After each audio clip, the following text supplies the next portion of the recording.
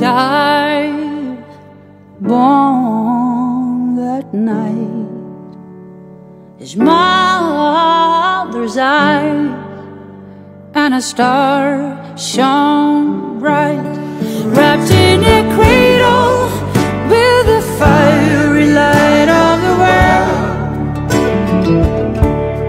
Next to him